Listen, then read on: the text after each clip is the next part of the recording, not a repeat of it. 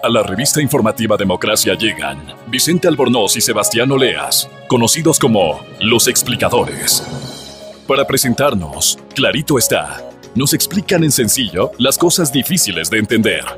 En XFM y Democracia M da inicio, clarito está. Amigos, muy buenos días, bienvenidos. Estamos aquí en Clarito está, para nosotros es un enorme, enorme gusto estar con ustedes y hablar de temas apasionantes. El día de hoy tenemos dos temas apasionantes, un tema de finanzas públicas. Totalmente, pasión, la pasión se me va encendiendo en mi cuerpo. Y otro tema de finanzas públicas. Bien, es un doblete de finanzas públicas, como cuando íbamos al cine cuando éramos chicos. Había dos películas por el precio, de, una. Y era cine continuo, así que podías quedarte todo el día en Dos veces y medio a la película, exactamente. Sebastián Oleas y Vicente Albornoz les saludamos muy gentilmente, muy cariñosamente hoy en este doblete de finanzas públicas en que vamos a hablar de ingresos del gobierno y de impuestos del, gobierno. Muy bien, temas interesantes. Temas apasionantes. Muy bien, como todas las semanas vamos con el... El dato de la semana, Sebastián. Adelante con el dato de la semana. Estas son dos cifras. ¡Wow! Tenemos dos cifras en vez de una. Y dos cifras que fueron obtenidas antes que se cayera la página. Ah. De, lo que hablamos. Ok. La semana pasada dijimos que el dato de la semana, y eso era culpa mía. Claro. No lo teníamos porque yo quería dar un dato de finanzas públicas y resulta que. No lo encontraste. La página web del Ministerio de Finanzas no estaba funcionando. Ah, no, no he chequeado hoy día, pero habrá que revisar. Seguía hasta hace, un par de días, seguía caída la página del Ministerio de Finanzas. Sí. Habría que revisar. Sí, sí, habría si sigue así. Pero en todo caso, un amigo mío, buen amigo, lo, se sacó esta información de la página antes de que la, de, que la de que, de que deje de funcionar. Exactamente. Y el dato de la semana es básicamente dato de enero y febrero de 2017, ingresos del gobierno central. Ingresos del gobierno central, la suma de enero y febrero, obviamente. Exactamente. Entonces, por concepto de impuestos tributarios. Los ingresos tributarios, tema fascinante y apasionante de las finanzas públicas. 2.200 millones. 2.200 millones fueron los ingresos tributarios del gobierno este central. Momento es un dato apasionante. La gente que nos está escuchando está completamente estática. Está estática, sí, totalmente estática. No tiene idea de lo que va a pasar siguiente. Y ahora se va a poner mejor. Sí. 2.500 millones. A ver, espérate un ratito. Impuestos, o sea, ingresos tributarios del gobierno central, que son en realidad los ingresos tributarios del presupuesto general del Estado. Los o sea, por ejemplo, todo lo que los ecuatorianos pagaron por concepto de IVA, renta, impuestos adelantados. Impuesto a la salida de divisas. Muy bien. Sí. Todo eso totalizó entre enero y febrero de 2017, 2.200 millones de dólares. Perfecto. Pero aquí viene lo, más interesante. Ok. Por tema de endeudamiento. Ya. Los ingresos fueron de 2.500 millones. Absurdo. Totalmente. No puede ser. totalmente demencial. O sea, el gobierno tuvo más ingresos por endeudarse que por cobrar impuestos. Recibió más dinero pidiendo prestado que, lo que pudo haber recolectado a través de la actividad económica, digamos, del país. Entre enero y febrero. Exactamente. Pero eso es una cosa bien criticable. Eh, sí que, está siendo muy correcto tú, Vicente. Muy bien. hoy, estoy muy educado a diferencia de otras veces. Se, agradece no he sido tan educado. Se agradece la corrección. Pero, sí, es criticable. Bueno, eso es ser educado, ¿no? Como tú bien dices, ser educado. A ver, el gobierno tiene básicamente, tenía, tenía tres tipos de ingresos los tributarios, los petroleros y los ingresos por endeudamiento, los nuevos créditos. A ver, que algún purista que podría estar ahí podría decir eso, no son ingresos. Es correcto, no son ingresos porque están en lo que se llama sobre la línea y no bajo la línea, pero es una manera de, es un ingreso de caja, ¿no? Digamos, para gastar, el gobierno tiene tres posibles fuentes. Exacto. Los ingresos tributarios, los ingresos por petróleo y los ingresos por, endeudamiento. De los ingresos petroleros no decimos mucho porque no son mucho. No, porque como, como el petróleo ha caído de precio, como es costoso producirlo en el Ecuador y, como se subsidia, hay que subsidiar los combustibles. De ahí no queda mucho. Queda poco. Queda poco para gastar. Entonces tú se reducen a dos posibles fuentes de, de, recursos. Por un lado están los tributarios, que dijimos que entre enero y febrero de 2017 fueron de 2.200 millones. Y por endeudamiento, 2.500 millones. O sea, tuviste casi un 10% más, más de un 10% más por endeudamiento que por tributarios. O sea, es, más lo que le entra a la caja del gobierno por nuevas deudas que las pagará el próximo gobierno, el subsiguiente gobierno, la próxima sea generación. quien sea que sea electo, sea quien sea electo, va a tener que pagar esto. Pero esto no es buena idea. No, es muy mala idea. Es muy mala idea. Esto, esto no es sostenible. Estás, o sea, o sea, Estás pagando más o menos al ojo, casi la mitad de tus ingresos estás pagándolos con deuda. Claro. O sea, la mitad de tus ingresos son deuda. Puede ser que sea un poquito menos, habría que ver el resto de ingresos, pero... Vamos a, vamos a ridiculizar más todavía esto. O sea, si tuvieses que pagar todo, lo que recolectaste por impuestos no te alcanza para pagar lo que te endeudaste. Qué barbaridad. Sí. Entonces. Pero eso no es, eso es, eso es poco sostenible. Es sostenible, es irresponsable, es. Le podríamos llamar de muchas cosas. Inadecuado. Inadecuado. Mira, esa es una manera muy culta de decirlo. inadecuado. Es inadecuado. Es. Inconsulto. También es. Indebido. Indebido. O sea, a ver, insistamos los amigos, 2.500 millones son lo que el gobierno tuvo de ingresos por endeudamiento entre enero y febrero y 2.200 millones lo que tuvo de ingresos por impuestos. Y los, ingresos por petróleo son, son bien chiquitos porque ya el petróleo no, no, le, no le rinde mucho al gobierno. Exacto. ¿Podríamos conectar esto con el tema de la semana pasada? Adelante. Y aquí voy a conjeturar. Y uno se puede equivocar, ¿no es cierto? Uno puede especular, conjeturar y equivocarse. Esto justamente es un programa de opinión. De opinión, exactamente. Y somos economistas, así que podemos decir un montón de cosas y después poder explicar que por qué las cosas que dijimos no se cumplieron. Para eso nos entrenaron. Para eso nos entrenaron. Pero quizás haberle bajado el switch a la página sea para que eventualmente no podamos ver este tipo de cosas. Por suerte, mi amigo Francisco Briones encontró esa información y se la bajó justo antes de que le bajen, de que la, perdón, de que la página web deje de funcionar. O sea, que se haya caído la página no, quiere decir que estas cosas hayan dejado de pasar. Eso es el tema. Ah. ¿Sí? O sea, estás insinuando que continuó en marzo. Pero totalmente. O sea, basta ver los titulares ahora. Al parecer vamos a pedir prestado mil millones de dólares más a los chinos, porque al parecer no fue suficiente lo que ya se cobró en impuestos para pagar por la reconstrucción del terremoto. Pero eso sería más, más peor todavía. perdón, por El, perdón por el incorrecto uso del español, pero es que, pero es que, ¿cómo describo un, comportamiento tan incorrecto excepto con un español incorrecto? Y claro, y, evitando que eventualmente nos censuren por todas las otras cosas que quisiéramos decir. Sí. ¿No es cierto? Caramba, es, terrible. ¿ah? O sea, la deuda es la manera de financiar el gasto público. Exactamente. Em, yo iba a sugerir algo. O sea, si nos está escuchando el ministro de coordinador de la política económica o el ministro de finanzas. o alguien nos está grabando y les va a pasar el dato. Exacto. Les recomendaría, hay unos cursos gratuitos de educación financiera. Ah, muy buena idea. Son fantásticos. son fantásticos porque, por ejemplo, te enseñan cómo armar un presupuesto cómo tener endeudamiento saludable. Pero eso, eso más o menos arranca de la idea de que no es bueno endeudarse siempre y en todo momento. Siempre hay que preguntarse. Pero eso es neoliberal. Eh, no. no. Es de sentido común, Vicente. Ya, ok. Es de sentido común. Entonces les recomiendo, hay un montón de sitios. La Superintendencia de Bancos impulsa a todos los usuarios del sistema bancario, a que se eduquen en, en educación financiera. Les recomendamos un montón de recursos gratuitos solamente les va a costar su tiempo ya. para educarse. Presupuesto, por ejemplo, endeudamiento saludable. Esos conceptos tan, tan exóticos como no se endeuden en exceso. No se en exceso. No gaste mucho más de lo que tiene. ¿Qué es tener un endeudamiento saludable? ¿Va a poder enfrentar sus deudas? Dramático. Y claro, y, y, ahí lo único que voy a decir es que eventualmente cuando uno la friega en su casa, ya. ¿sí? El daño se acota a, la casa de una de uno, ¿no es cierto? Exacto. Cuando uno lo friega a nivel nacional. El daño es para los el daño es para y ni sé cuántos millones de ecuatorianos. Entonces, una vez más, esto es irresponsable.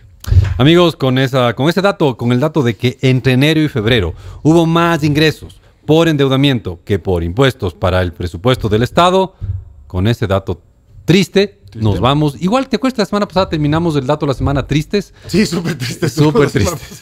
Con este dato triste les dejamos, pero no se olvide. Banco. Grupo Promérica.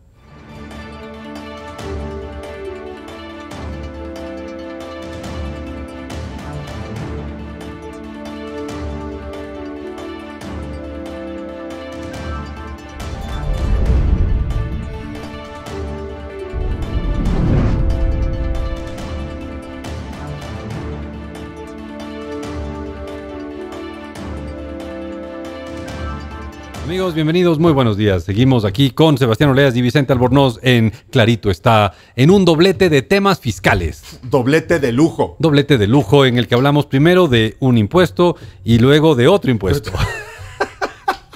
Apasionante. Apasionante y sorpresivo el tema. Bueno, primero hablamos de un impuesto y de, de- de unos ingresos del gobierno, Sí, unos tributarios, otros no. Y ahora vamos a hablar de un impuesto. impuesto. ¿Le podemos llamar ya? ¿Le podemos dar el nombre? Sí, bienvenido. Impuesto a la salida de divisas. Wow, muy bien. Entra- tema apasionante. entra el impuesto. Entra el impuesto.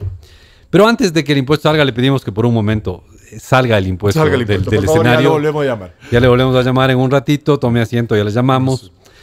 A ver, vamos a una pregunta profundamente filosófica. Ya. ¿Qué debería ser grabado con un impuesto? Ok. ¿Debería ser grabado el color del pelo? No. No, no, estoy, estoy No, caricaturizando. no, está bien. O sea, si, si eventualmente para evitar impuestos me pintaría del color que no es grabado, por ejemplo. Exacto, pero podrían ahí hacerte algún examen y dicen, usted tiene el pelo negro, Mm. paga tanto de impuestos, usted tiene el pelo rubio, paga tanto. No, no suena muy lógico, ¿no? Pero, ¿qué es lo que tú deberías grabar con un impuesto? Algo que sea, digamos, que sea medible para el universo de todos los contribuyentes. Ok, de acuerdo, pero podrías medirles a todos los contribuyentes la altura o el peso y poner un impuesto en función Pero de me eso. refería, por ejemplo, a la riqueza. Ok. Uno puede grabar, poner un impuesto a la riqueza. Y existen impuestos así en el, en el Ecuador. Impuesto a la renta. Bueno, ese Este es impuesto, el impuesto al al ingreso. ingreso, ¿no es pero el impuesto, es el impuesto predial. Sí, por ejemplo. Es un impuesto, Pues, no específicamente a la riqueza, sino a un activo, a, los, a los terrenos, a las casas, a los departamentos, a los edificios. El impuesto, el impuesto a la herencia. Ese sí es un impuesto a la riqueza. Ese es un impuesto a la riqueza. Eh, pero, ok, entonces un, un tema que, que podrías grabar es a la riqueza. Ya, el cómo lo hagas, podrías filosóficamente, ya en la práctica mal, decidir. ¿Cómo lo distribuyes? Ya, perfecto. Pero al menos eso permitiría que la gente que tiene una riqueza importante aporte para el funcionamiento del Estado y eso idealmente debería aportar para beneficiar a los, a los pobres. Ok. ¿Qué otra cosa podrías. ¿Qué otra cosa podrías grabar? ¿El ingreso? Un ingreso, por ejemplo. Entonces, la gente que tiene un sueldo, que tiene mm, utilidades de una empresa, que, que gana honorarios, Esta es la renta. esa es un- un- una renta, es un ingreso, tú le puedes grabar y con eso la gente que tenga un ingreso más alto aporta a los que tienen un ingreso más bajo. O sea, por ejemplo, vendes algún activo. También. ¿Es un ingreso? Bueno, no, no o es- o necesariamente. estás No, no es liquidando un ingreso. Estás, estás- estás- liquidando tu parte de tu riqueza. ¿no es Exacto. Y estás Pero, tributando sobre pero eso. si tú eres un empleado, tienes un sueldo, si tú eres un profesional, tienes un honorario, si tú eres un empresario, tienes unas utilidades. A tributar eh, sobre incluso si tú eres un, una- ahorra- ahorrador, ahorrador eh, tienes unos intereses y luego tienes que tributar sobre, Sobre eso. ahora, mover algo, mover de algo de aquí a acá. ¿Tiene sentido ponerle un impuesto a eso? Así, a un simple movimiento. Yo pongo Bueno. una cosa que estaba en un sitio, lo pongo en otro sitio y después lo regreso al sitio original y después lo vuelvo a poner en el segundo. Y cada vez que lo mueves, te cobro. Pero podría haber eso, ¿no? Pero, pero filosóficamente, el, el cambiar algo de ubicación es complicado argumentar que eso se puede, que a Que, eso que se puede. que grabar eso, ¿no? Sí, sí, sí. Si uno puede decir, bueno, para, yo, yo pongo un impuesto a los productos que entran al país, Aranceles. pongo un arancel, ¿no? Pero, pero es porque estoy, porque estoy entrando al país y estoy compitiendo contra la industria local, etcétera. Eh, pero, pero cuando tú sacas dinero del Ecuador al extranjero, no estás generando ingresos, no estás generando riqueza, no estás destruyendo riqueza, no estás destruyendo ingresos. Entonces, filosóficamente es bien, bien jalado los cabellos de O sea, pensar en un esto. impuesto a la salida de divisas. Ah, no. A mí no me parece al menos una cosa obvia que, que se pueda grabar. O sea, habría que entrar a discutir para tratar de justificar por qué. ¿Por qué, por qué hacer esto, no es cierto? Correcto, pero así muy obvio no es, ¿no? Si tú, tú dices, "Mi- mire, esta persona gana 10 mil dólares mensuales, le vamos a poner un impuesto a la renta. Ok. Esta persona sacó 10 mil dólares del Ecuador hacia afuera. Ya. Y le vamos a poner un impuesto del 5%. ¿Pero por qué? Hubo movimiento, no hubo creación de riqueza, no hubo, no hubo nada, nada, nada de eso. Entonces, claro, digamos que es un tema difícil de justificar, no, no es general, evidente, esto no entraría, es obvio. Esto entraría básicamente un impuesto al control de los capitales, ¿no es cierto? Para restringir, Correcto. El, control- para restringir el movimiento de capitales, ¿no? Ya, pero también ahí podría ser la pregunta, ¿por qué voy a restringir eso, no? Pero bueno, Hay, hay, hay- existe ese impuesto, pero, pero es un impuesto que bien probablemente exótico. ¿ah? tendríamos que invitar a alguien más a este programa para que nos trate justificar, porque esto porque Sí, para porque- nosotros va a ser complicado. Como somos limitaditos tú Sí. y yo, yo No un nos- poco más que tú, pero No, somos no, bien a dar- limitaditos. no nos va a dar para poder explicar el No somos ISD. capaces de explicar el impuesto a la salida de divisas filosóficamente, por suerte, Por suerte. para suerte nuestra y de nuestros oyentes, no somos filósofos, sino economistas. Ilimitaditos. Y, y- y espacio limitaditos, Limitaditos. ¿no? No somos ilimitados, sino limitaditos. Limitaditos. Pero bueno, eso es el ISD, ¿no? Es, es un movimiento, mueve una cosa de aquí, del, del- dentro del Ecuador, afuera del Ecuador, pero no cambia, sigue siendo 10 mil dólares o 5 mil dólares o mil dólares. Bueno, cuando sale y te cobran es menos. Pues. de acuerdo, pero no, no es algo distinto, no es algo, no, no, no soy más rico por tenerlo aquí o en el No produjo, extranjero. no produjo nada, digamos. No produjo absolutamente nada, simplemente fue movido de aquí a allá. Entonces, eso es lo que nos lleva a analizar el impuesto a la salida de divisas en el programa de hoy, eh, arrancando de que es un impuesto bien exótico. Tengo entendido que un par de países en el planeta tienen un impuesto similar, pero al menos los países dolarizados que conocemos, que son eh, El Salvador y Panamá, No lo tiene. no tienen eso. Los países con euros No lo tampoco lo tienen. Eh, hay países que han tenido limitaciones a la salida de divisas, como por ejemplo Islandia, que recién las levantó después de su gran crisis, pero no era impuesto, era simplemente prohibido. No está permitido sacar más de tanto, en función de tamaño de empresa, etcétera, etcétera. Pero no. Hay, hay un par de países en el mundo muy exóticos que tienen impuesto a la salida de divisas, pero, pero es un impuesto muy poco común. Y Bueno, es un menos impuesto... Somos originales, mira. Sí, estamos refundando la ciencia. refundando- refundando la ciencia económica. Y la filosofía. Y la filosofía. Bueno, la filosofía tú y yo, la ciencia económica no. Exacto. Eh, entonces, es un impuesto bien exótico. Entiendo que un par de países por ahí bien poco comunes, digamos, tienen, tienen impuesto a la salida de divisas, pero, pero eh, casi nadie tiene algo de este estilo, ¿no? Que, que sacar dinero. Y este impuesto, eh, veamos un poquito la evolución. Este impuesto nace, eh, se empieza a implementar en enero 2008 Ujú. una reforma tributaria de fines del 2007. Enero 2008 era de 0,5%. 5%. Recuerdo claramente. No mucho después lo suben a 1%, Ujú. poco después lo suben a 2% y un tiempo después lo subieron a 5%. Y si no me equivoco, desde el 2012 está en 5% y, y ahí se ha quedado. Eh, estoy seguro que alguien tendrá alguna intención de subirle más, pero, pero que sepamos, ahí se quedó en el, en el 5%. Y probablemente por alguna razón se quedó en 5%. Y no lo siguieron subiendo. Sí, puede ser, y eso, eso podríamos Tiene analizarlo. que ver con probablemente que el analizarlo. 5% estaba ahí en el margen en el que todavía podías incrementar tus ingresos tributarios a través de eso. Probablemente si lo subías más, eventualmente podían caer tus ingresos. Ahí discrepo. Yo creo que el, si el impuesto este lo subieran más, sí recaudarían más. Todavía. Sí, porque ya vamos a ver qué es lo que realmente graba. Porque en la práctica no graba la salida de los capitales. No, no, no. Los capitales golondrinas, de esos perversos inversionistas que vienen por un tiempo y después se largan. No, no graba eso. Pero eso queremos entrar luego de una corta pausa. Ya volvemos. No se vayan.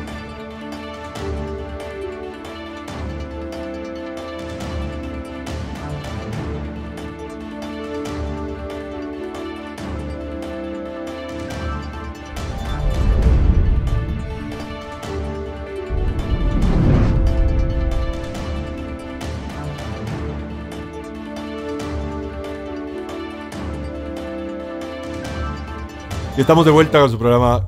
Clarito está. Estamos en Clarito, está en un doblete de temas fiscales. Doblete de, de miedo. Tema temas uno- fiscales. Tema 1, el tema de la semana fueron los ingresos fiscales. Tema 2, el impuesto a la salida de divisas. Un impuesto, otro tema fiscal. Doblete de lujo. Pelea de lujo. No, no es una pelea. Básicamente es el mío tema.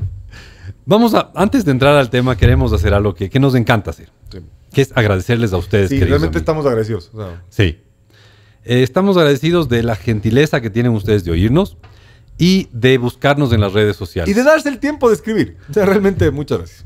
Y tenemos como una- un agradecimiento extra a los que o nos corrigen o nos dan ideas. Exacto. ¿Ya? Eso, o sea, a todos ustedes les O, queremos. aclara- o aclaran, porque como dijimos, Que- somos para que no, no generar celos entre los oyentes, a todos les queremos, ¿ya? Exacto. Pero es como que les tenemos una especial simpatía Claro. a los que o nos corrigen o nos dan ideas nuevas. Así que ya saben si quieren ganarse nuestra simpatía. O quieren una mención especial en el programa. sí. Así que, ah, bueno, un oyente que se llama Animae13, le agradecemos. Sí, la enfermedad holandesa, claro, obviamente, tratamos de ese tema, pero justo un, creo que fue unos segundos después del tuit suyo que tratamos del tema de la enfermedad holandesa. Em, Ah, Queremos agradecerles a, a todos los que nos dicen, por ejemplo, a Nena, a, a Nena Solá le agradecemos, dice que somos, son lo máximo, me encanta su programa, verá, verá. Ese tipo de comentarios nos encantan. ¿Cuál habrá sido? De todas las cosas que dijimos. ¿eh? no sé qué dijimos, pero son lo máximo, me encanta su programa. Gracias, Nena, usted es lo máximo. Nos encantan oyentes como usted. Muy bien, muchas gracias. Sí. sí. Alfredo Fernández le queremos agradecer una aclaración importante que nos hace. El anterior programa, no sé si ustedes se acuerdan, queridos amigos, fue sobre la maldición de los recursos naturales. Recuerdo. Y ahí trajimos una frase de que creíamos de un ministro eh, de, Venezolano. de petróleos, de petróleos venezolano, que dijo el, el petróleo es el excremento del diablo. Sí. Pero no, Alfredo Fernández eh, muy gentilmente nos dice que no, que el, el escritor, el famoso escritor venezolano Arturo Uslar Pietri, él es el que dijo, y la frase exacta es, el petróleo es el estiércol del diablo. Poquitín más fuerte Uslar Pietri sobre el, el- el- el petróleo y... No sé, excremento es como más general, ¿no? El estiércol es lo que generan los herbívoros, ¿no es cierto? Ok, pero en todo caso le agradecemos Creo mucho a Alfredo. prefiero- Alfredo Fernández, muchas gracias por su comentario. Eh, Javier Espinosa dice que el programa estuvo ameno e, e interesante. Gracias. Esas son las cosas que hacen ameno e interesante para nosotros grabar el programa. Eh, Milton Tipanquiza nos dice, qué buen programa de hoy, estaban súper tristes. Ja, ya pues. Sí, claro, a, a que estábamos Estamos tristes. súper tristes. Sí, Sí. nos corrían las lágrimas. Sí. Em, y también queremos agradecerle a, a Diego, Diego Pozo, que nos dice, qué excelente explicación, felicitaciones, sigan así, muy buen programa. Qué bueno que le gusta. O sea, ¿saben qué? Si nos mandan esos comentarios, vamos a seguir haciendo el Vamos, sí, programa. y nos, le pondremos más. Sí. O sea, le ponemos ganas, pero Sí, lo haremos. Tratemos de, de entretener. Culpa de ustedes. Sí. Si no mandaran esos comentarios, ya nos quedamos calladitos. No, diríamos nada. Pero como nos mandan sus comentarios, nos dejan así como Exacto. con el ego inflado y, Y nos, motivados. creemos, nos creemos menos limitados de lo que somos. Exactamente. No somos. Ya, está bien. somos limitados, pero no tanto. No tanto, ya. Está bien. Pero bueno, estábamos entonces en el segundo tema fiscal tributario. de hoy. Totalmente. Sí, estábamos hablando del impuesto a la salida de divisas y habíamos tratado de entender. Sí, filosóficamente. Tenía algún sentido. Y no le encontramos. Y no, no, no nos dio. No Y nos dio. No nos dio nuestra cabeza para descubrir la, la- la- la No, filosofía no, atrás de esto. No lo logramos. Dije que probablemente tendríamos que invitar a alguien más para que nos pueda explicar. Alguno de los ilimitados La razón filosófica favorable de tener este impuesto. Pero lo que sí pudimos decir es que es un impuesto bien exótico y muy pocos países del mundo tienen algo así. Y los dos países dolarizados que conocemos, que No son lo el, Salvador y Panamá, no lo tienen. Y claro, y básicamente lo que se graba es un movimiento. Pero bueno, en lo que queremos concentrarnos en lo que nos queda del programa, que es eh, un, un- un- un segmento y medio, queremos hacernos una pregunta. ¿Por qué existe el ISD? El impuesto a la salida de Yo tengo la respuesta. Ah, adelante. Porque le genera ingreso al gobierno. Ah, ya dañaste todo el final. Ya, listo, me voy. Gracias. Disculpen, pueden apagar la radio en este instante. ya dañaste el final del programa. Ese era el- spoiler, spoiler alert. Sí, Spoiler alert. ese fue el spoiler alert. En Exacto. realidad sí, por eso existe el ISD. Pero vamos analizando por, por qué no Vamos- debería existir. Vamos desagregando. Ya vamos a llegar a una conclusión. Ya les contamos el final del libro, pero vamos Sí. a. O sea, si ya, si, si, si no, no querían más que saber el fin de la historia, Sí. ya, ya pueden apagar la radio y dejar de oírnos. Si quieren el- el- ver el razonamiento de... ¿Por qué no existe. deberíamos tener el ISD además? Ajá. Vamos a ver. El ISD es, ante todo y sobre todo, un impuesto a las importaciones.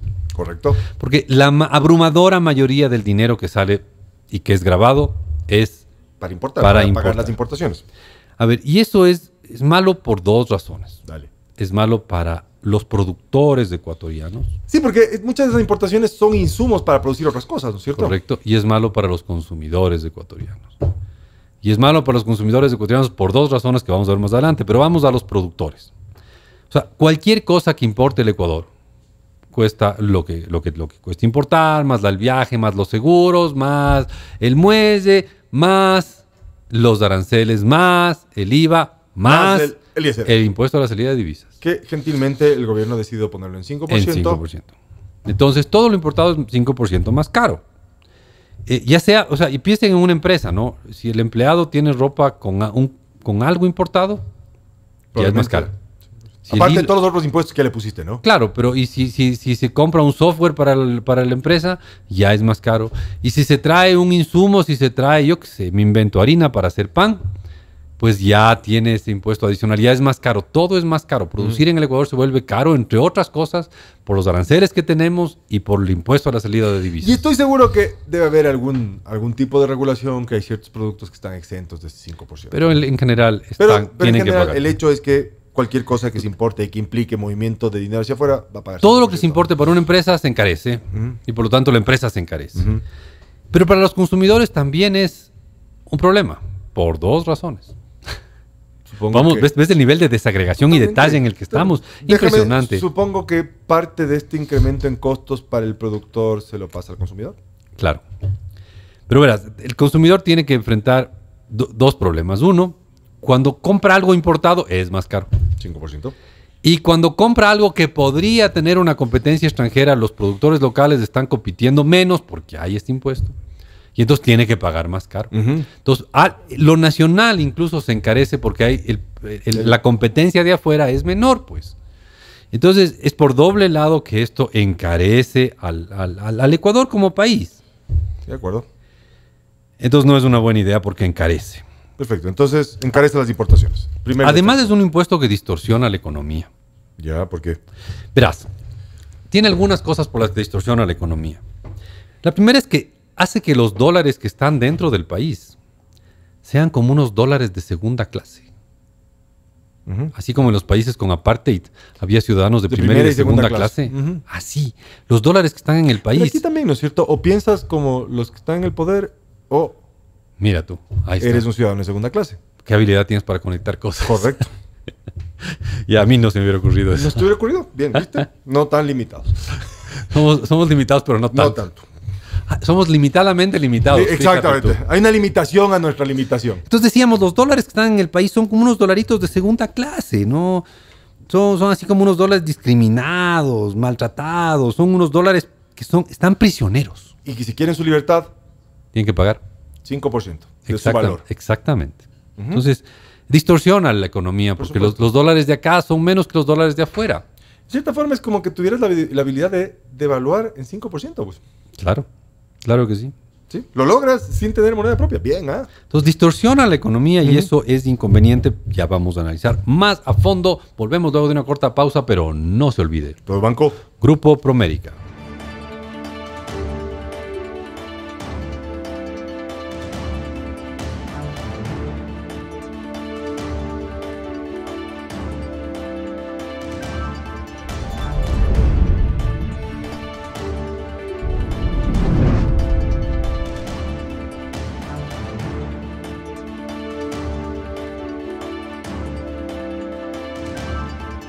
Vuelta con su programa. Clarito está, Vicente Albornoz, Sebastián Oleas. Estamos hoy día en el especial en el doblete de temas fiscales. No, dos por uno. Dos por uno. Ingresos fiscales, Este era el tema uno. impuestos. El tema dos. Muy bien. Apasionante. Totalmente, apasionante. totalmente. El que el- no se emocione con esto no tiene corazón. no tiene corazón. Puede ser que tenga mucho cerebro, pero Sí, corazón, no, tiene. no tiene. O sea, no tiene sentimientos. El que no, no vibre con Sí. ingresos fiscales e impuestos No sabe, lo, no sabe lo que es Tiene vivir. el cuero muy grueso. Entonces decíamos el ISD, ¿por qué existe el ISD? Y decíamos, no debería existir porque es encarecedor. Lo importado en el Ecuador es caro. Es más caro, sí. Y habíamos dicho después que además distorsionaba mucho la economía. Sí, porque te crea, te les convierte a los dólares que están aquí dentro del país en unos dolaritos de segunda clase, Exacto. que valen 5% que sus hermanos, que son idénticos por ADN, o sea, Tiene el, mismo, tiene el gemelitos, mismo presidente muerto, dibujado, en dibujado su ahí, pero hay uno que, si es que está dentro del Ecuador y quiere salir, Tiene que pagar 5%. 5% menos. Sí. Fíjate, además eh, vuelve a los billetes más valiosos que el dinero que está en, un- en una cuenta bancaria. por supuesto. Porque el dinero en billetes es más fácil de sacar. Sí, el rato que sales del Ecuador, Ya baja es, en tu es un billetera. dólar. Estos son los de primera clase. Esos son los, los dólares de primera clase porque salieron, ¿no? Salieron, exacto. Hay, hay límites legales, pero incluso dentro de los límites legales el dólar en billete vale más que el dólar en, en, en- chequera. Exacto. Eh, o bueno, dentro de la cuenta de banco, ¿no? Si la cuenta hacer- bancaria en general. Eh, si y además, claro, este es un in- incentivo al, al contrabando, ¿no? A incentivo, hace un tiempo hubo pues una, una diputada, una, una alcaldesa, no me acuerdo quién fue, que la encontraron con un montón de oro, que sacaba oro a Estados Unidos y que era, y que ah, hubo todo un escándalo ahí, pero, pero claro, sacaba unos 100 gramos de oro, alguna cosa así era. Y claro, porque, porque la- el impuesto a la salida de divisas le, le- le- le llevaba, le, le hacía que sea atractivo contrabandear, que no deja de ser completamente ilegal, Totalmente. pero se vuelve atractivo. Como sacar. vas a buscar sustitutos a este dinero que paga impuestos, sustitutos Claro. que guarden el valor. Exactamente. Eh, si tú te fijas en el Ecuador, casi no hay billetes de 100 dólares. ¿Cuántos de nuestros oyentes han visto los billetes de 100 dólares color café? Últimamente. No, hay unos los billetes de 100 Sí, sí, dólares sí. nuevos, vi en Wikipedia, son color café. Ya. Ya no son color verde. Ni O sea, son verdes con, con mucho café. Hay más café que verde en los billetes nuevos de 100 dólares. En el Ecuador no circulan esos billetes. ¿Por qué? Porque el gobierno no quiere que haya esos billetes, porque esos Es- billetes es permitirían más fácil que sacar. en menos volumen saques más plata. pues. Exacto. Así de sencillo. Entonces, eh, por eso es que el Ecuador so- casi solo consigues billetes de hasta 20 dólares. Sí, Y muy maltratado además. Y hay muy pocos billetes de 50, 50, ujú. y no, no hay billetes de 100. Ujú. Eh, claro, esto es absurdo porque puede ser que, que para algo existe billetes de 100 dólares, ¿no? Pues para, para que la gente tenga la libertad de escoger cómo guarda su plata, si en billetes de 100, si en billetes de 5, billetes de 10 o en centavitos. Pero bueno, es una limitación a la, a la libertad. Exacto. La idea central de este impuesto era limitar la salida de las divisas, y eso es verdad, ¿no? Yo creo que sí, originalmente cuando era- Controlar, digamos. Sí, eh, era, era, sí, o, o desincentivar la salida de divisas. Ahora, ¿tú crees realmente si es que hubiera un pánico o algo así que por ahora no hay? Si hubiera así alguna cosa terrible, ¿tú crees que la gente por este 5% deje de sacar un millón de dólares que tiene por ahí guardados? No creo. No Pagan creo que el- te- pagan están los- dispuestos a pagar y poner su, su plata a buen Fíjate, si tienes un millón de dólares, tienes dos opciones. Lo dejas te- y te, da un pánico loco. Ya va, estás aterrado, gritando de miedo de que va a acabarse el mundo y decides sacar la plata fuera. Y tienes dos opciones: perder 50 mil o perder un millón. 50 mil. Pierdes 50 mil. Claro. Y perder 50 mil implica sacar, pagar el 5%. Entonces, puede ser que un poquito frene la salida de divisas, pero tiene que ser bien marginal. Sí. Eh, y yo, yo decía que el ISD resulta como una especie de jaula, jaula de pájaros. Pero con unos huecos por los que puedes salir. Pero al salir te bajan el 5% de tu peso. O sea, el Ya. pájaro puede volar, El pájaro puede volar libre, pero, pero, le desplumas antes de salir. pero medio que le sacas, no le desplumas, le sacas unas plumitas Claro. rato de salir. Cada vez le duele salir. Le duele salir. Y si vuelve a entrar y vuelve a salir, le vuelve a Vuelve a doler. El Exacto. mismo dolor. Y a lo mejor el pájaro aprende y no es idiota y dice, creo que no quiero volver a entrar a la jaula, pues. Exactamente. Porque el ISD, como, un- como, como toda jaula, tiene dos efectos. Claro. Complica la salida, pero este sí está abierto. Pero sobre todo, El que aprende te impide no o, entrar, te, pues. O, te, o te desincentiva enormemente la entrada. Sí, porque ¿quién quiere estar preso? Un pajarito al que le guste estar preso. Exacto. Entonces, ¿quién quiere perder su libertad? Pocos. ¿Qué dólares quieren perder la libertad?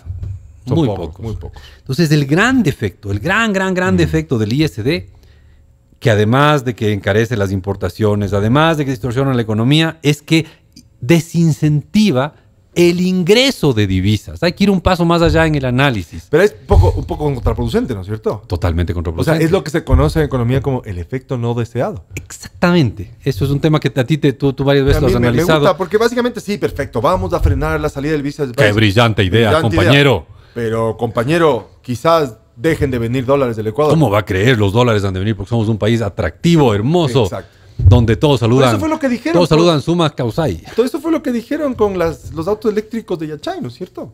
¿Te acuerdas? No, no me acuerdo. ¿No viste eso? Hace unas pocas semanas, noticia bomba 3 Ah, cierto, iban a hacer. Ah, claro, Tesla iba a hacer unos autos eléctricos. Deberíamos Nuestra dedicar un compañera de la programa. universidad, Silvana Vallejo, salió diciendo que era fantástico. Es verdad. Vamos a, eh, vamos a hacer un programa sobre los autos eléctricos. Eléctricos. Invitemos a. Invitemos gente a, claro, podría- ¿por qué no viene René Ramírez, por ejemplo? Podría venirnos a hablar explicarnos de los autos eléctricos los Tesla. elec- Tesla. Fantástico. Yachay Corp. Muy bien. Entonces, ante tanto defecto que hemos visto, Sebastián ya nos dio hace un rato la idea, fue el spoiler que nos dañó, el, el el efecto, programa, el efecto sorpresa del final del programa. La, pregunta es, ¿por qué sigue existiendo tan inconsulto, inconveniente, inadecuado, ¿Impuesto? subóptimo impuesto? ¿Por qué te genera plata? Porque rinde. Rinde. Y, y rinde bien, además. Le da- Probablemente es de los de, por, por volumen, debe ser de los que más- mejor rinde.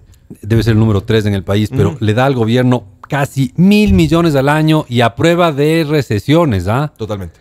Y no solamente eso, sino que es un, impuesto bien fácil de administrar. Totalmente. Es un impuesto barato de cobrar. Claro, o sea, sí. es fantástico.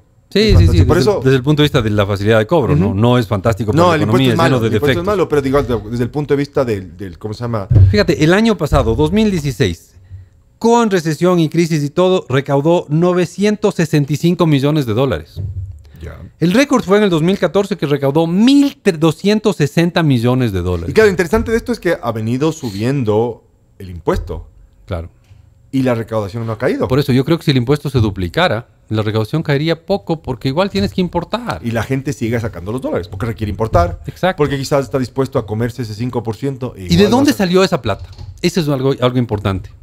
¿De dónde salieron esos 1.200 millones, casi 1.300 en el 2014 o los casi 1.000 millones del año pasado? Te puedo dar, puedo darte alternativa y tú me dices cuál es. Ya, vamos, correcto o incorrecto. Incorrecto. ¿Del bolsillo de los ecuatorianos? Evidentemente, no- ¿de dónde más va a salir? Perfecto. Listo, se acabó la pregunta. Salió del bolsillo de los ecuatorianos.